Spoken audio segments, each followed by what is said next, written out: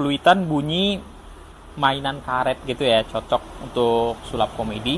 Ini ada tiga ukuran dapatnya udah satu set. Ini yang paling besar yang sedang yang paling kecil. Nah ini tinggal divariasiin aja ya untuk mainnya. Ini contoh kita pegang jari ada bunyinya